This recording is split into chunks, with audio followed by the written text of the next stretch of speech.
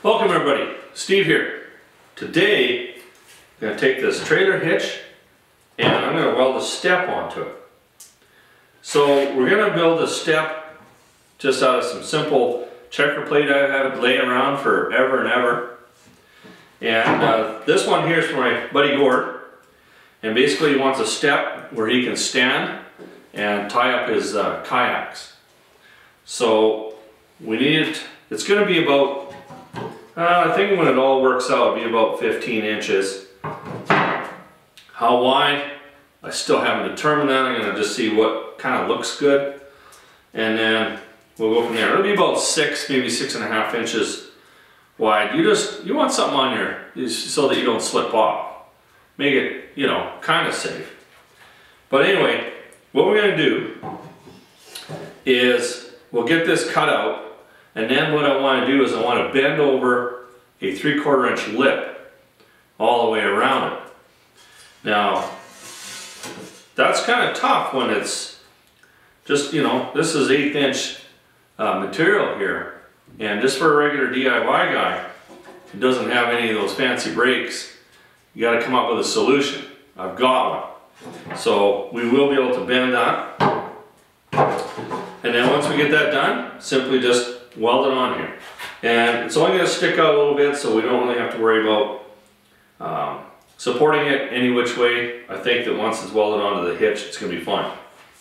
You just got to clean up all the powder coat or whatever they put on there to make sure that when you do weld, it's perfect and it's not going to break off on you.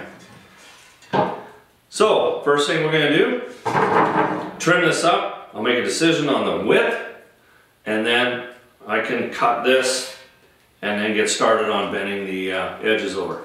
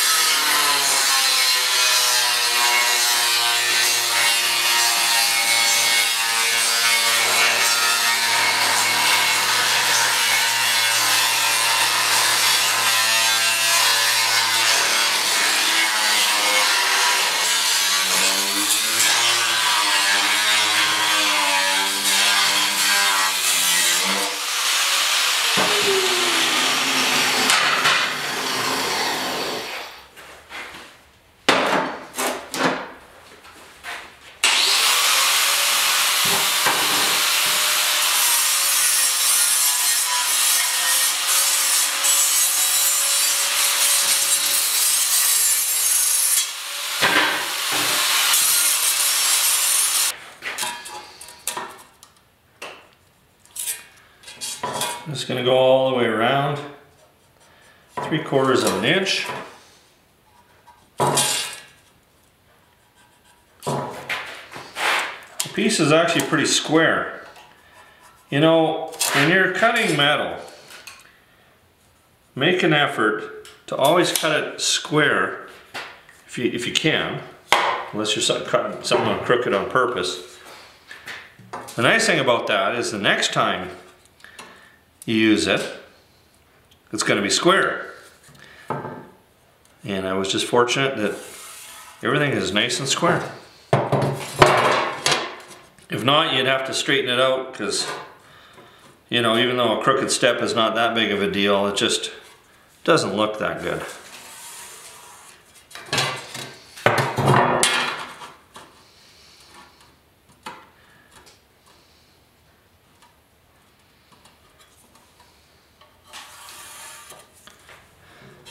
Okay, so this is the notch here where the, uh, the back of the uh, trailer hitch is going to be. And we got to cut these corners out of here. Now when you cut these corners out, you don't make them too, too tight here. A little bit of a, you know, just go over the edge on this side is actually benefit because when you do bend it, then it's not going to pinch and you, you'll know you'll get your 90. Hope that makes some sense. So I'm just gonna take the zip cut, cut the corners out, cut this out, and then we can uh, go ahead and bend this all up. We're gonna weld the corners up, so don't worry too much about that.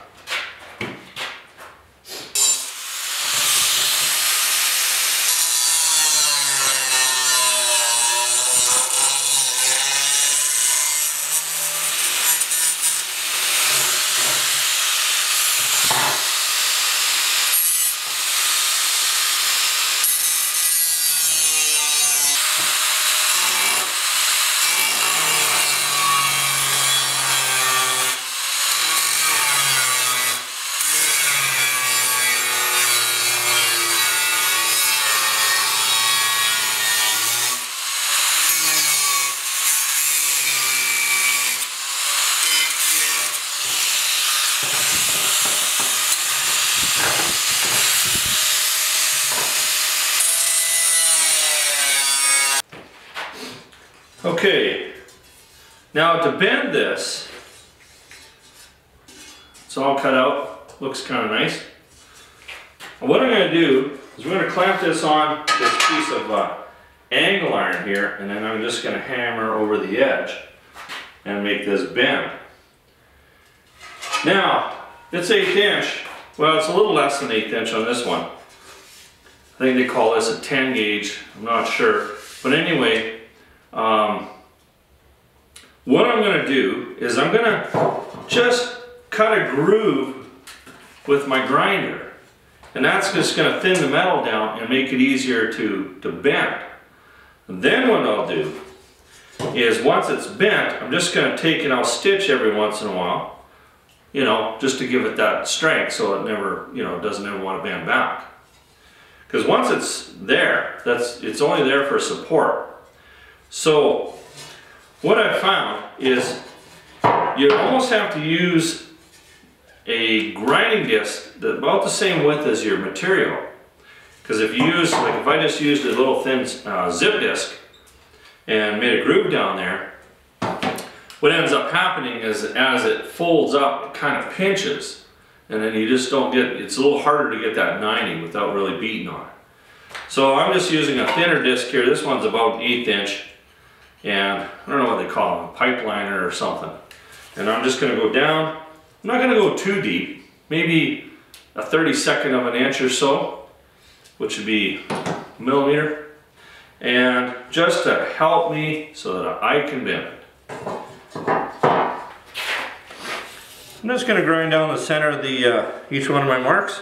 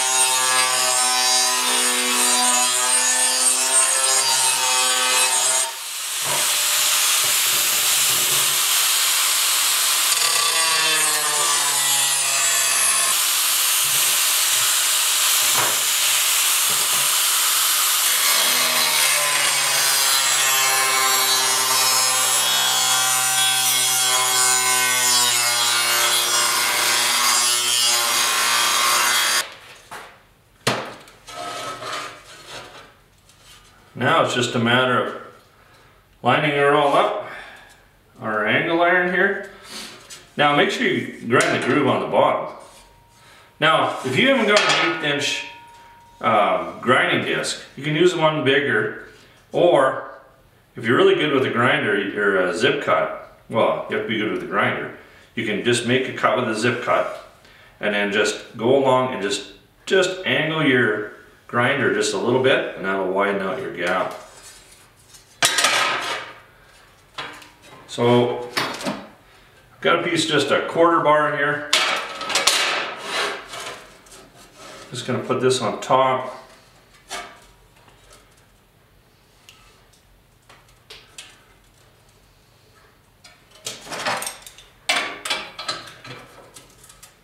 Remember, if you don't get it perfect, it's just a step. I'm not gonna get marked on it, so I think I'm good.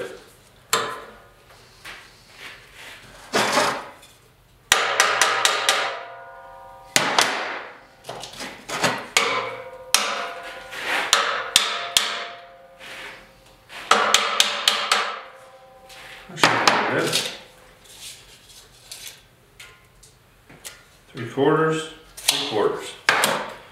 Okay. Now, just take your time. Make sure your vise is tight.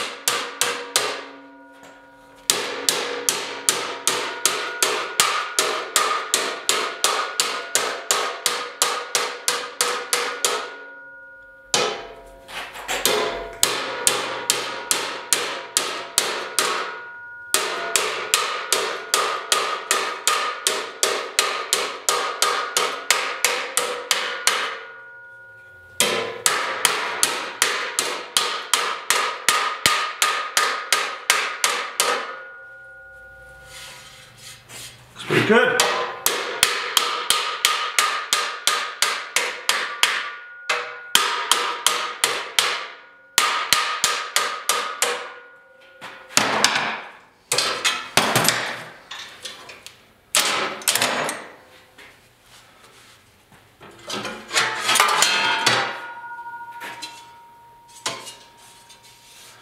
Nice tight bend. Looks really good. See what it looks like on the inside. How that uh, grinding it is a bit of a benefit because it just kind of pinches on itself. What the benefit of that whole thing too is you're going to get a real nice crisp bend. Okay, now we just do our, our edges here. We should be good to go.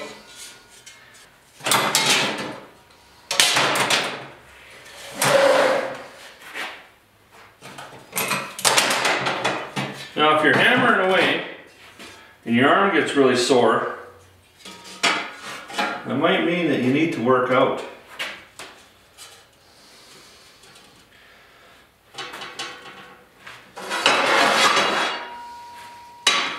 I'm saying that because, uh, I'm being honest with you, mine was pretty sore.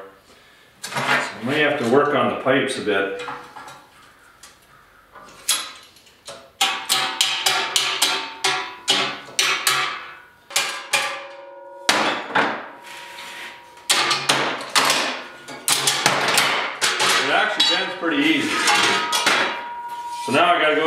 Corner over here.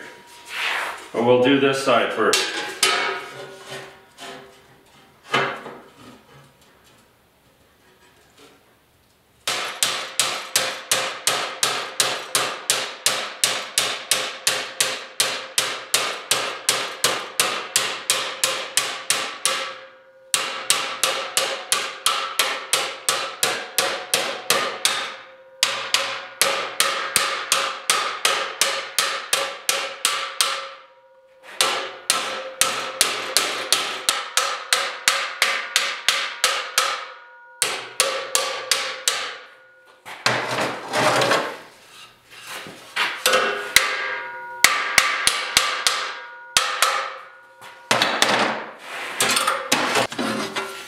Now this last one, you really can't get that going on that piece of angle because, you know, we got this, unless you put a spacer underneath there, but that's a lot of work. So what you could do is you could just bring this in and use your vise, just do a little bit at a time, okay? But I did find a piece of uh, angle iron. It's not quite the, the exact width that I need, but I think it's going to be fine. Let's go this way.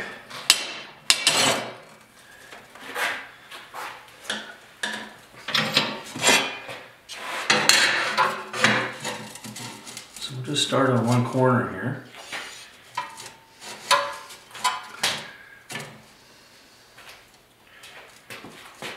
I think I might be able to get away without know, I'll put that piece on the top anyway.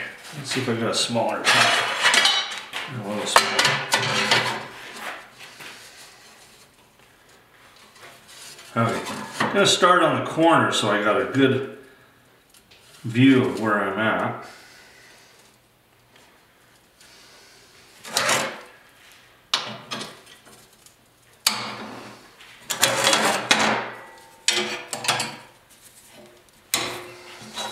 Shoot a straight edge and see where I'm at here.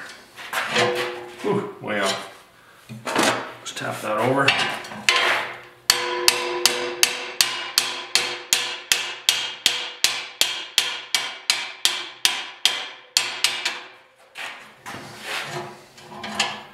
Looks good.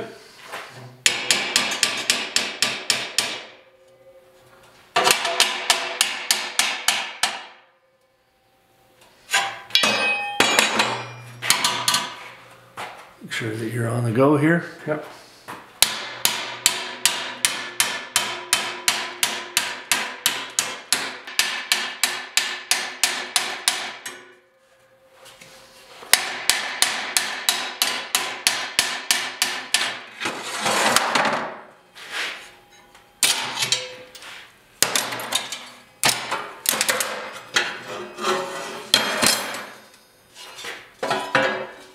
That looks awesome.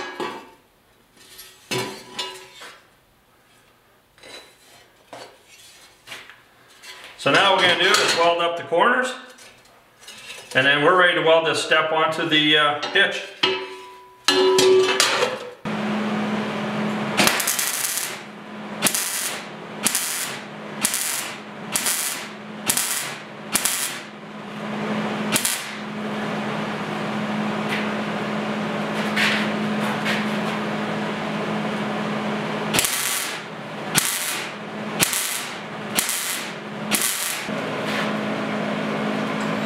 I got her clamped on there.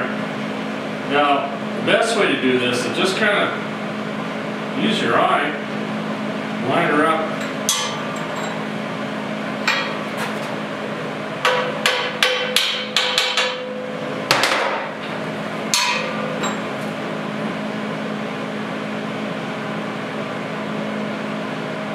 That looks pretty good.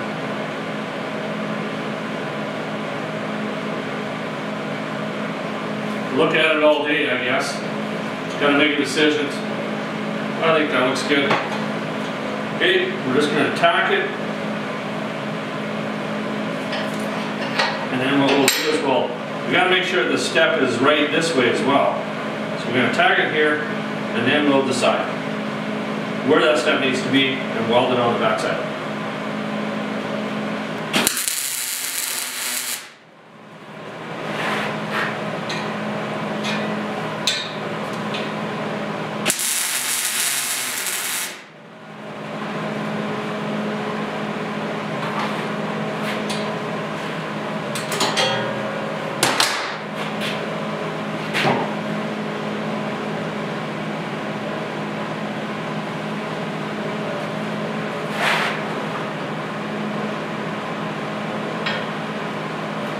I think the best way to do this,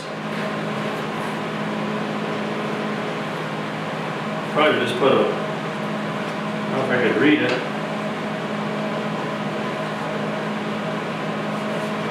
Let's see how level we are.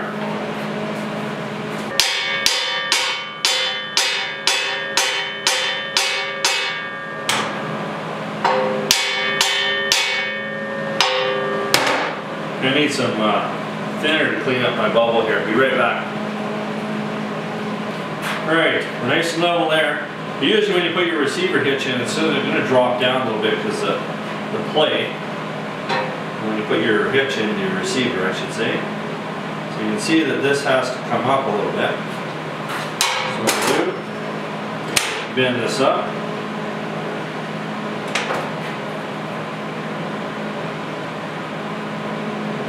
a little higher. See what it looks like. Yeah, I don't mind that at all.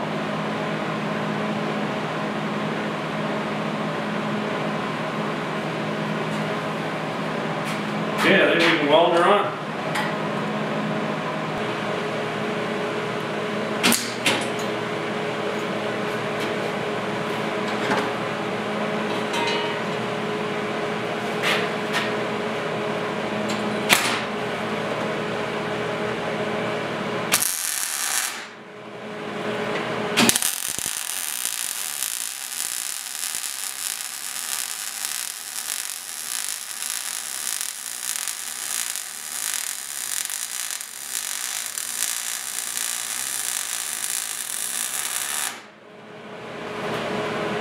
Wonderful. Okay, while we're here, I'm just going to put a couple stitches on our uh, bends.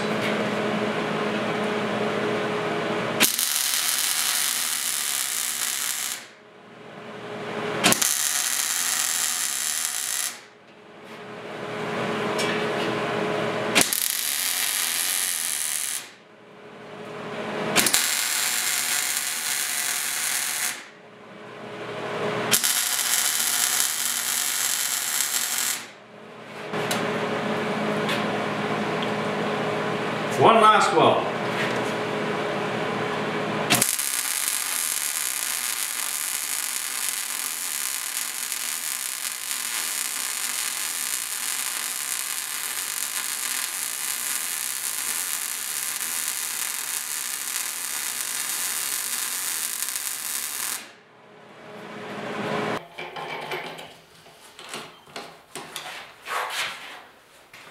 Just gonna round the corners off so when you jam your knee into it, it's not too bad.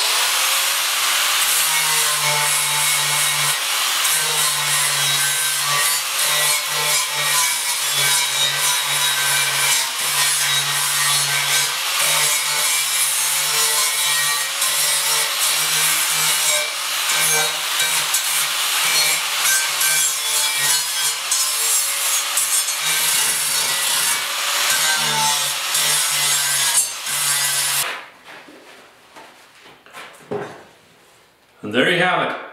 A step that you can put into your receiver. That was not a bad project to do. You know, I maybe got, oh, a little over an hour into it. Maybe an hour and a half. By the time you find all your material and get everything all set up. So a great DIY project. No reason why anybody can't build this. All right, I'm gonna go test it out. And until next time, thanks for watching. Stay tuned.